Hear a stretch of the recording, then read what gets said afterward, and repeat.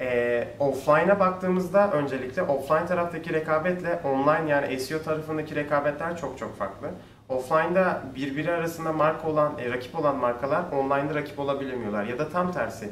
Online'da rakip olan markalar aslında offline'da rakip olamıyor. Bunun için aslında online platformda herkes birbirinin rakibi olmuş oluyor. Ve dolaylı yoldan aslında Kobi ile e, yarışan büyük markalar ya da büyük markalarla yarışan Kobiler olduğu için giderek kızışıyor aslında. Ve her geçen gün de insanlar SEO ile ilgili yeni şeyler öğrendiği için buraya daha fazla yatırım yapmaya çalışıyor ve medya yatırımları da buna daha fazla önem arz ediyor. Bundan dolayı oradaki rekabetle offline'daki rekabet arasında çok fark var ve her geçen gün giderek artıyor.